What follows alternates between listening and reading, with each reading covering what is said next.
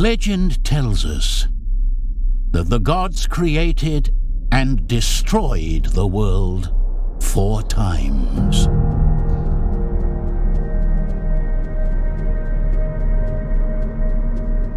A ray of light beamed down from the sky and struck the earth. From it flowed water, spilling out over the mountains and plains. With it, life was born. After their intervention, the gods observed how this life expanded. Patiently, they watched its evolution and development.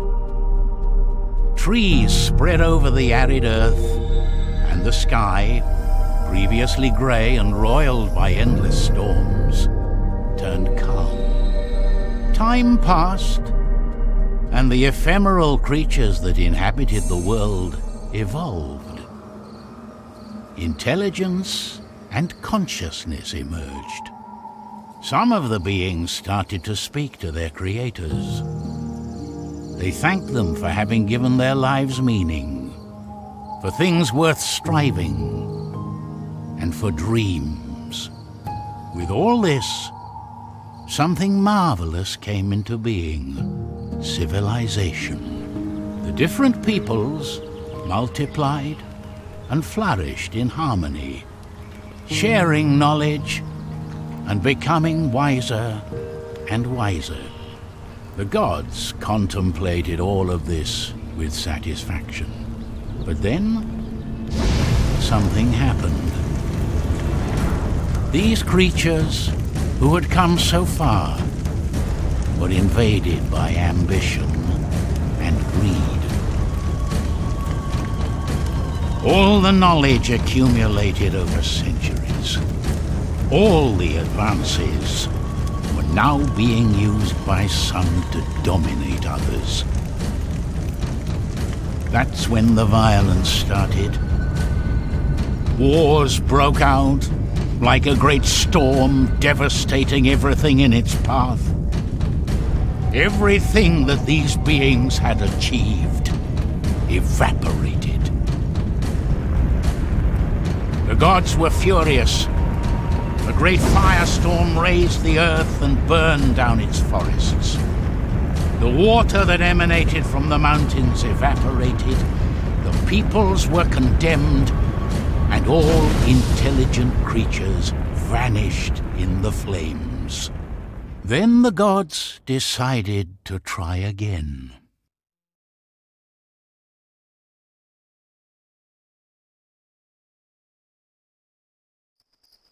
As the teachings of his master flooded his mind, Teku opened his eyes.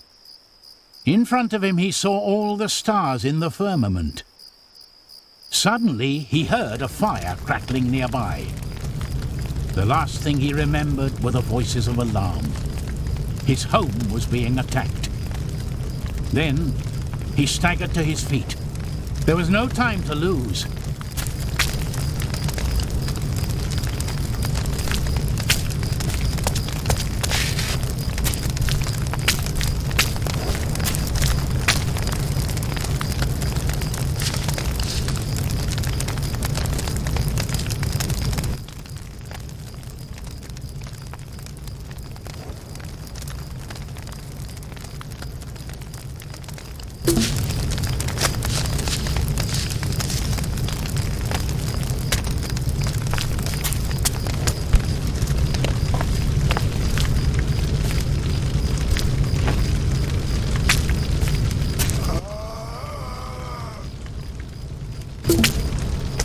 Teku couldn't go on.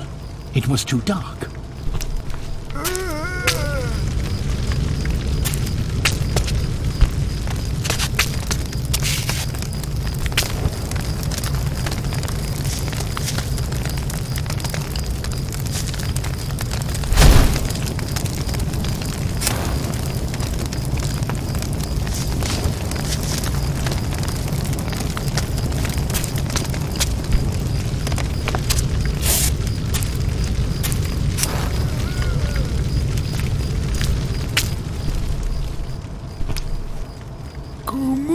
Shakapaka. Oh no! That poor man told Teku what happened. The tribe of the Wakcha had attacked the village and captured prisoners. One of them was Yaka, the tribe's shaman. He had to do something.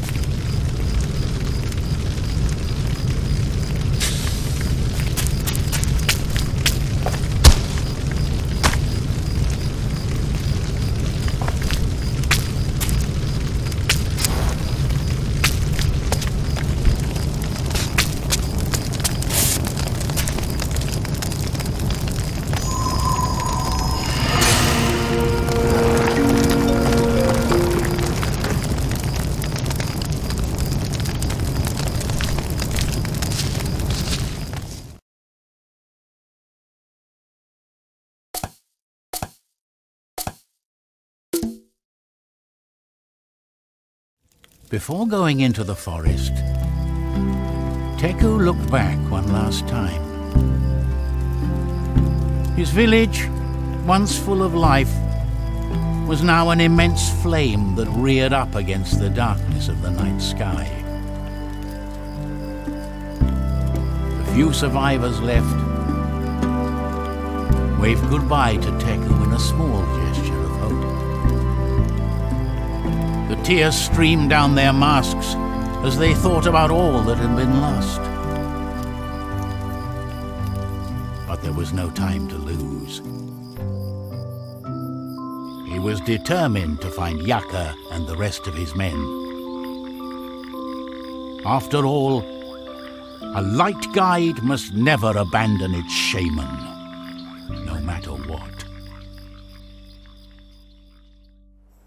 After three hours of crossing the forest, as he followed the trail of the Wakchas, the first rays of sun started to filter through the branches of the trees. When he emerged from the thicket, Teku stopped at the foot of a cliff. The captor's trail ended there. There was a large marsh down below, and a few bonfires dotted the landscape. It could be them.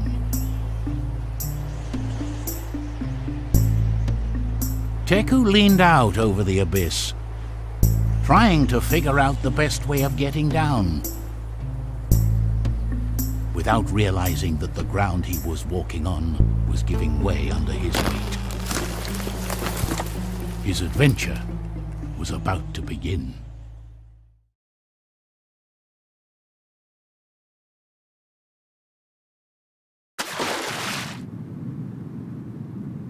Wake up, Teku. Come on.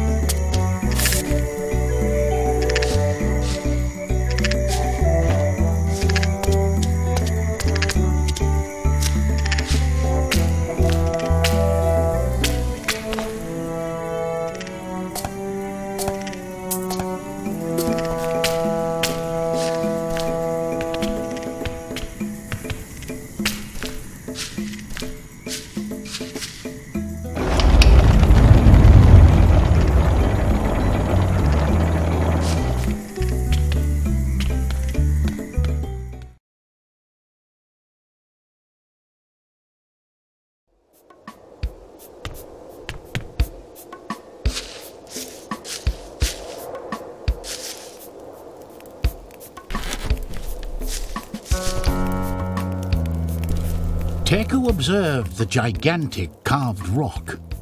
It appeared to be an effigy of a powerful toad. It must represent somebody important. Nevertheless, the wooden structure didn't seem very stable.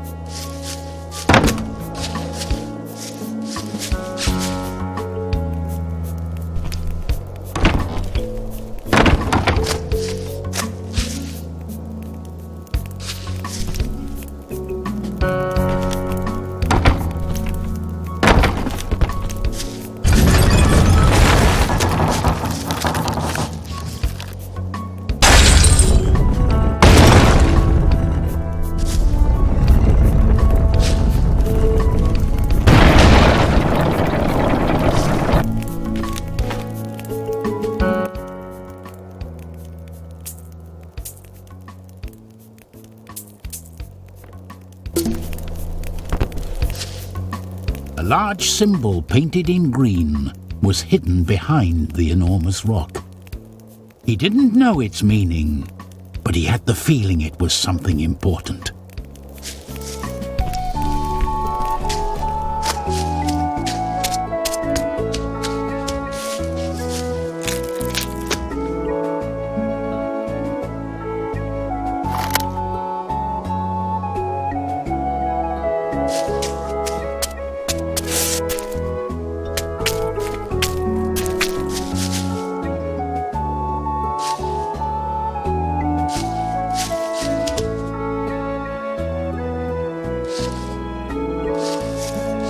Strange mechanism seemed to be controlling the water, coming out of the enormous gourd.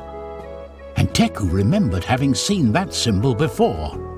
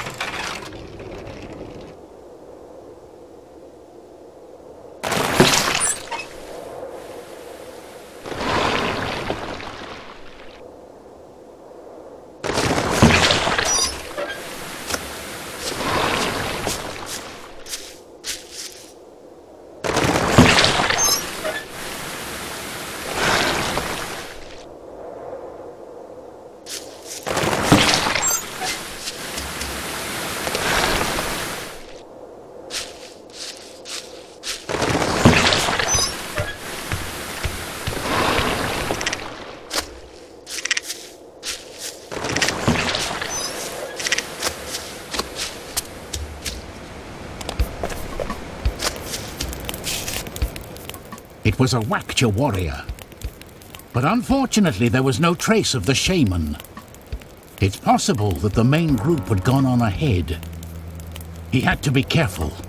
They were very dangerous.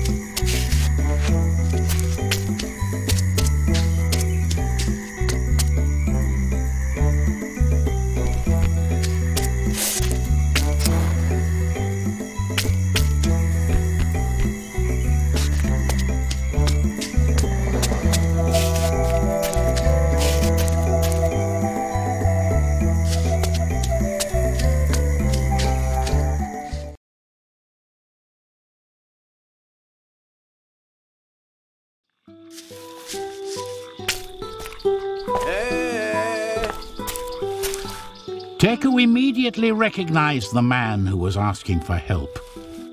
It was one of the bodyguards of Yaka, his tribe shaman. He had to help him, but how could he get to him?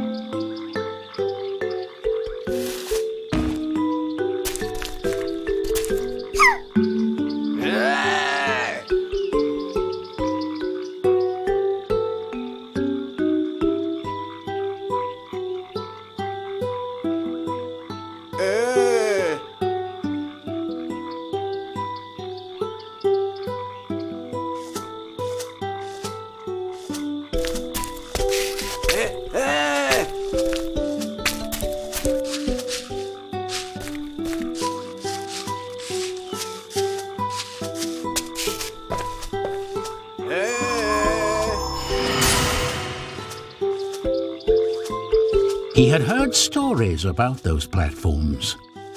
The ancients used them to travel rapidly to distant places. But to use it, he needed his candle to be burning.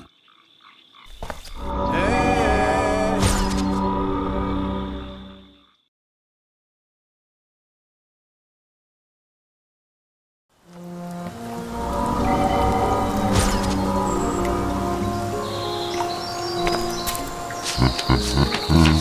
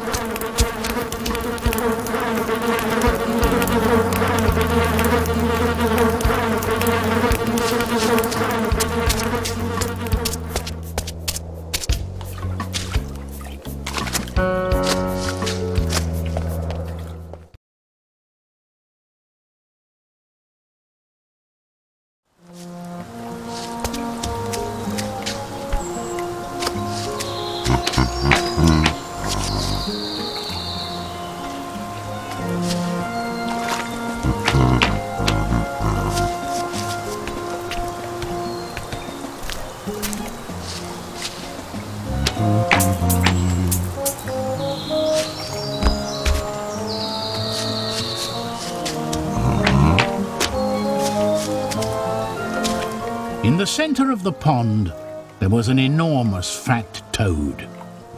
Teku recognized him. It was the toad carved in the rock. With a little luck, he would let him pass by.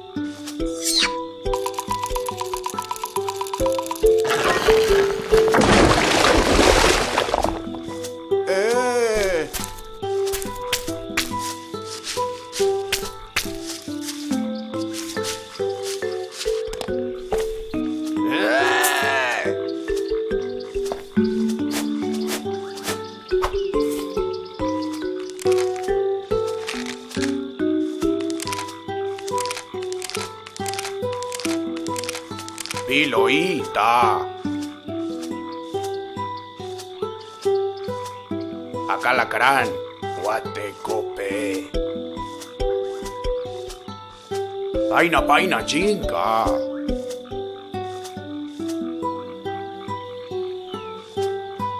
Yokitu. Macha, macha. Mico papa, chinchicate.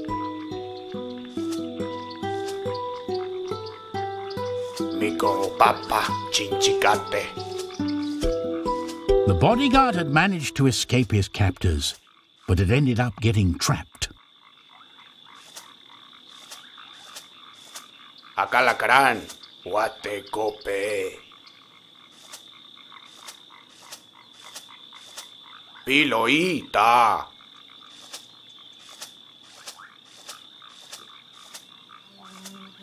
Paina, paina, chinga. The Wakcha were going to sacrifice Yaka. He had to stop it. Before bidding farewell, the bodyguard gave Teku an amulet to show his gratitude.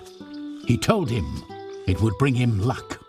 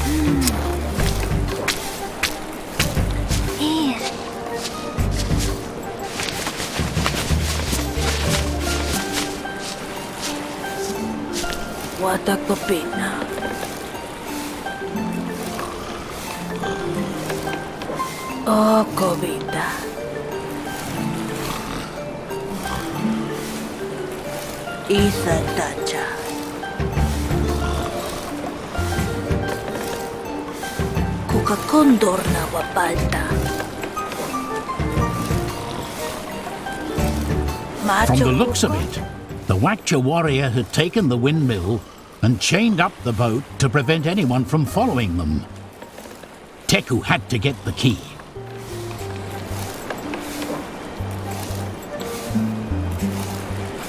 Watak.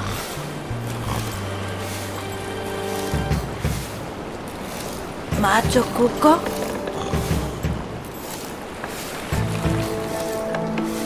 Oh, cobita.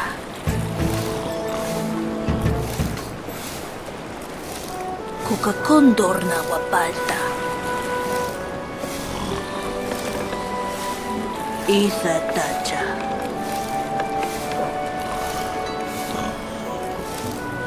Macho cuco?